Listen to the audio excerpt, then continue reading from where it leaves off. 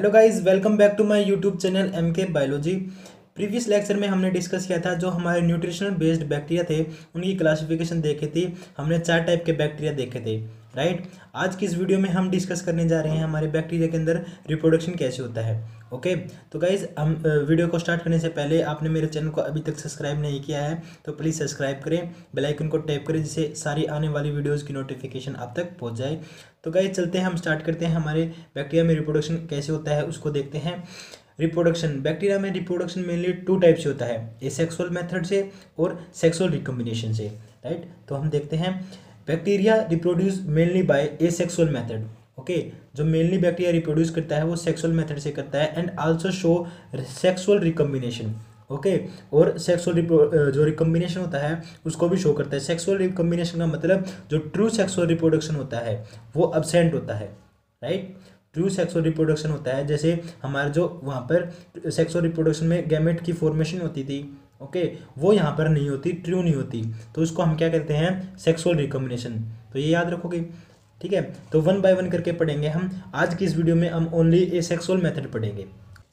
ए sexual reproduction के बारे में जानते हैं guys bacteria produce several type of asexual spore जो बैक्टीरिया हमारा, वो क्या करता है? कुछ ए सेक्सुअल स्पोर प्रोड्यूस करता है, जैसे spore angiospores oidia conidia and endospore okay? ये कुछ ऐसे स्पोर्स हैं जो बैक्टीरिया प्रोड्यूस करता है, जिसको हम क्या कहते हैं? Asexual spores okay? जबकि however the most common mode of asexual reproduction is binary fission जबकि जो हमारा मोस्ट कॉमन मोड है ए सेक्सुअल रिप्रोडक्शन का, वो हमारा क्या है? बाइंड्री फ्यूजन जिसको हम आगे पढ़ेंगे डिस्क्राइब करेंगे, ठीक है? Under favourable condition of nutrient availability moisture and temperature. Daughter cells may repeat binary fission many times and may form a large population. क्या होता है? जब बैक्टीरिया को बाइंड्री फिजन की बात होती है गाइज़ जब बैक्टीरिया को फेवरेबल कंडीशन मिलती है फेवरेबल कंडीशन मतलब उसके अकॉर्डिंग जो उसकी, जो न्यूट्रिएंट की अवेलेबिलिटी है, वो प्रेजेंट होती है ओके जो उसका टेम्परेचर है, ठीक है? वो प्रेजेंट होता है मॉइस्चर प्रेजेंट होता है। तब क्या करता है? जो डोटर सेल होती है, वो रिपीटेडली क्या होती है? डिवाइड करती रहती है। ठीक है डिवाइड करती रहती है और फिर क्या फॉर्म कर सकती है, वो एक लार्ज पॉपुलेशन को भी फॉर्म कर सकती है। बट ये ऐसा नहीं होता गाइज़ आगे पढ़ते हैं हम। The process gradually slow down and ultimately stop because of जो क्या होता है, ये हमारी, आपने पढ़ा था, वो क्या कर सकती है, एक लार्ज पॉपुलेशन को फॉर्म कर सकती है। बट ऐसा नहीं होता, क्यों नहीं हो सकता? क्योंकि जो प्रोसेस है, वो ग्रेजुअली क्या होती है स्लो डाउन होती है और अल्टीमेटली स्टॉप हो जाती है। ऐसा क्यों होता है? ये देखो फ़र्स्ट इसका रीज़न है शॉर्टेज ऑफ़ स्पेस स्पेस की शॉर्टेज हो जाती है। सेकंड है लेक ऑफ़ न्यूट्रिएंट अवेलेबिलिटी जो न्यूट्रिएंट की अवेलेबिलिटी है, वो कम हो जाती है, ठीक है? वो उनकी लेक हो जाती है। थर्ड पॉइंट है एक्यूमुलेशन ऑफ़ वेस्ट प्रोडक्ट जो वेस्ट प्रोडक्ट है, वो ज़्यादा एक्यूमुलेट हो जाता है, जिससे जो उनका एनवायरनमेंट है, वो अनफेवरेबल हो जाता है। देखो यहाँ पे making environmental condition unfavourable for growth जो अगर बैक्टीरिया हैं, उनकी लार्ज पॉपुलेशन होगी, उनका जो वेस्ट प्रोडक्ट है, वो ज़्यादा एक्यूमुलेट होगा। ज़्यादा एक्यूमुलेट होगा तो फिर क्या होगा? जो उनका एनवायरमेंट कंडीशन है, वो अनफेवरेबल हो जाएगी, फिर उसकी ग्रोथ रुक जाएगी। थर्ड रीज़न ये था। फोर्थ रीज़न देखो फोर्थ रीज़न है डेवलपमेंट ऑफ़ बैक्टीरियोफेज बैक्टीरियोफेज एक ऐसा टाइप का ऑर्गेनिज्म है, जो क्या करता है? बैक्टीरिया को किल करता है, ठीक है? जो डिस्ट्रॉय करता है बैक्टीरिया को। तो इन चार रीजन्स के थ्रू जो बैक्टीरिया है, वो लार्ज पॉपुलेशन क्या है? शो नहीं करते। वो ग्रेजुअली उनकी जो ग्रोथ है, वो रुक जाती है स्टॉप हो जाती है स्लो डाउन हो जाती है। याद रखोगे? आगे चलो। Binary fission okay binary fission देखते हैं हम क्या होता है binary fission it is the most common method ठीक है? जो बाइंड्री फिजन है मोस्ट कॉमन मेथड है। Under favourable condition of temperature moisture and availability of nutrients nutrients की अवेलेबिलिटी और टेम्परेचर और मॉइस्चर की अवेलेबिलिटी में और ठीक है? जो ये हमारी फेवरेबल कंडीशन होती है, इसमें हमारा मोस्ट कॉमन मेथड क्या है? बाइन डिफ्यूजन जो कि हमारे बैक्टीरिया शो करते हैं okay mature bacterial cell divides into two daughter cell जो मैच्योर बैक्टीरियल सेल होती है, वो दो दो पार्ट में टू डोटर सेल्स में क्या होती है? डिवाइड करती है। In this process the cell division is amitotic type ये बात याद रखना गाइज़ ये वेरी वेरी इंपॉर्टेंट पॉइंट है।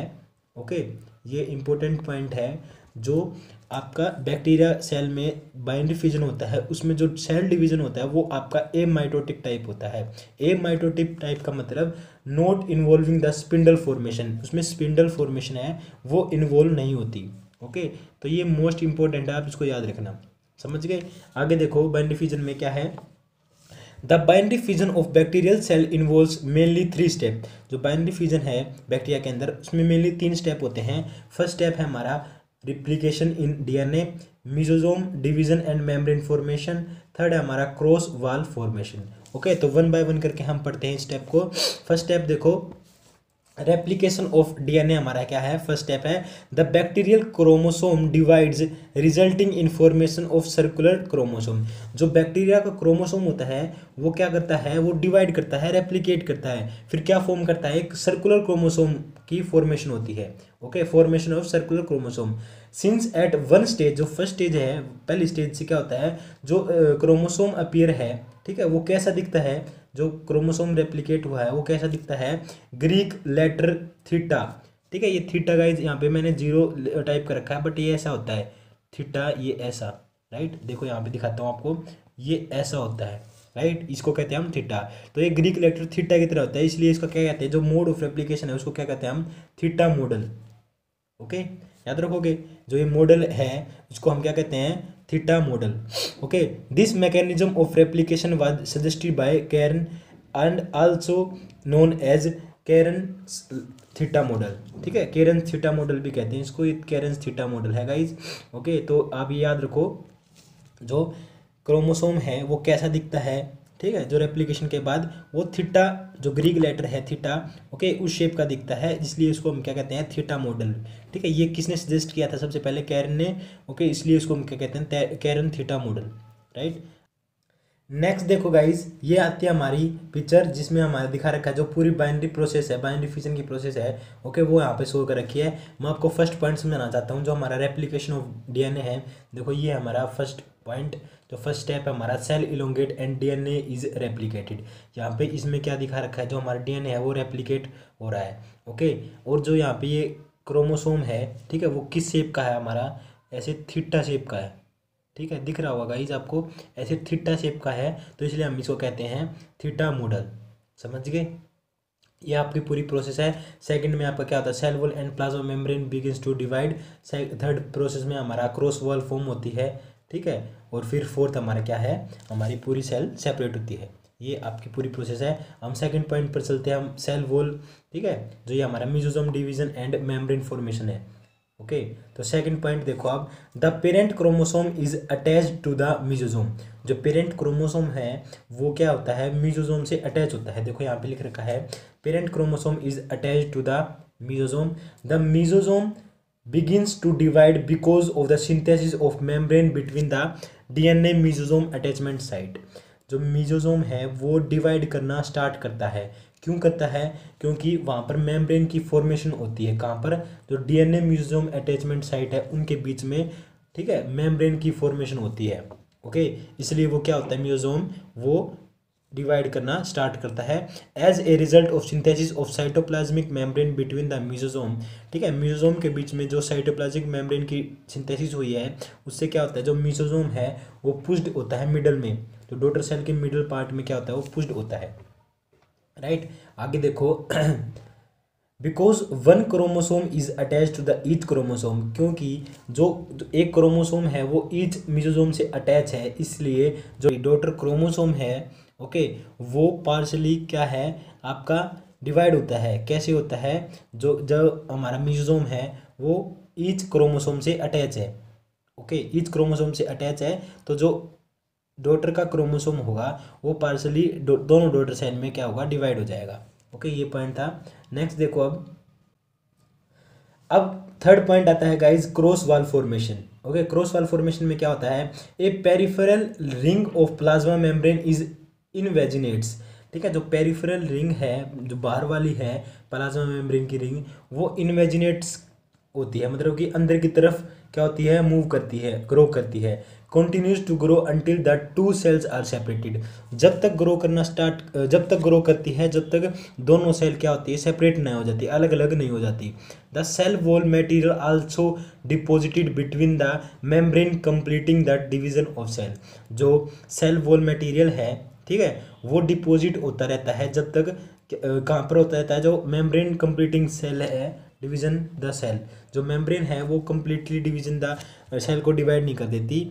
The two event septum and cross wall synthesis occur simultaneously जो टू इवेंट्स आपके, जो synthesis of septum and cross wall वो क्या आते हैं? साइमल्टेनली अकर होते हैं। साइमल्टेनली चलते हैं, आपके साथ साथ ही चलते हैं। ओके तो क्रॉस वाल फॉर्मेशन में ये था आपका। मेनली जो आपकी पेरिफेरल जो मेम्ब्रेन है प्लाजो मेम्ब्रेन वो इन्वेजिनेट करेगी। जब तक कंटिन्यू ग्रोथ करती रहेगी, उसकी जब तक वो क्या होगी? सेल सेपरेट नहीं होगी। ओके और जो cell material cell wall material है, वो डिपॉजिट होता रहता है किसके बीच में? मेम्ब्रेन्स के बीच में। ठीक है? कब तक? जब तक डिवीज़न ऑफ़ सेल नहीं होता। ठीक है?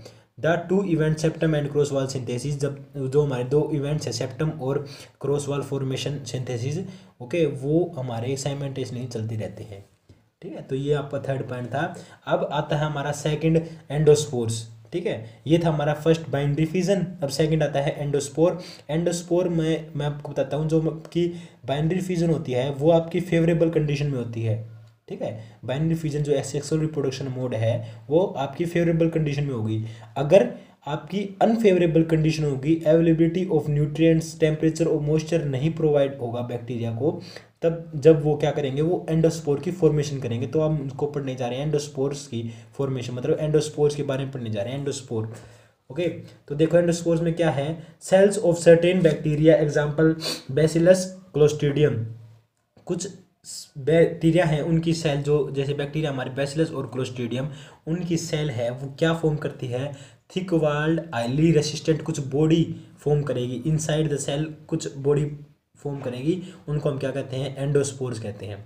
ठीक है? मेन बैक्टीरिया आप याद रखो बेसिलस और क्लोस्ट्रीडियम बैक्टीरिया में जो सेल वोल है वो क्या होगा? आ, कुछ बॉडीज फॉर्म करेगी इनसाइड थिक वाल्ड होगी वो आइली रेसिस्टेंट होगी। है। One bacterial cell normally produce only a single endospore जो एक बैक्टीरियल सेल है, वो ओनली एक ही एंडोस्पोर की फॉर्मेशन करेगा राइट द एंडोस्पोर्स में बी स्फेरिकल और ओवल जो एंडोस्पोर होगा, वो स्पेरिकल हो सकता है या ओवल हो सकता है, ठीक है? शेप में और पोजीशन में वो टर्मिनल और सेंट्रल हो सकता है। याद रखोगे एंडोस्पोर सेंट्रल या और ओवल हो सकता है, ठीक है? स्पेरिकल या ओवल हो सकता है और पोजीशन में वो टर्मिनल और सेंट्रल हो सकता है। एक इसकी मेन प्रॉपर्टी है एंडोस्पोर की, ये याद रखना आप। जो एंडोस्पोर होता है, वो एंटी कोएगुलेंट नेचर होता है, ठीक है? एंटी कोएगुलेंट नेचर होता है उसका। ऐसा क्यों होता है? क्योंकि वहाँ पर एक केमिकल प्रेजेंट होता है, ये याद रखोगे आप केमिकल कौन सा है? कैल्शियम डाइपिकोलिनिक एसिड ठीक है? इस कैल्शियम जो ये, जो आपका केमिकल है, इस केमिकल की वजह से वो आयली रेसिस्टेंट होता है ईट से, ओके? कुछ एसिड से ठीक है? आप जो भी अनफेवरेबल कंडीशन मान लो उनसे रेसिस्टेंट होता है ये आपका एंडोस्पोर किसकी वजह से? इस केमिकल की वजह से। कैल्शियम डाइपिकोलिनिक एसिड तो ये आपका केमिकल है, वो वेरी इंपॉर्टेंट है। ये आपका एक टाइप का एसिड है राइट तो ये कहाँ पर प्रेजेंट होता है? कोटेक्स लेयर ऑफ़ वॉल में प्रेजेंट होता है। तो ये था आपका एंडोस्पोर ठीक है? ये कब फॉर्मेशन होती है इसके एंडोस्पोर की? जब कोई अनफेवरेबल कंडीशन आती है। ठीक है? बैक्टीरिया ग्रो कर रहे हैं अनफेवरेबल कंडीशन आ गई तो क्या होगा? एंडोस्पोर की फॉर्मेशन होगी। तो ये थे आपके सेक्सुअल टाइप ऑफ़ रिप्रोडक्शन जो है सेक्सुअल मोड है बैक्टीरिया में। तो नेक्स्ट वीडियो में हम पढ़ेंगे गाइज़ सेक्सुअल मेथड जो सेक्सुअल रिकम्बिनेशन है, जिसको हम कहते हैं जो हमारी ट्रू सेक्स जो ट्रू सेक्सुअल रिप्रोडक्शन है, वो एबसेंट होता है। ठीक है? तो हम उसको नाम देते हैं सेक्सुअल रिकम्बिनेशन तो नेक्स्ट वीडियो में करेंगे गाइज़ तो गाइज़ नेक्स्ट वीडियो में मिलते हैं हम।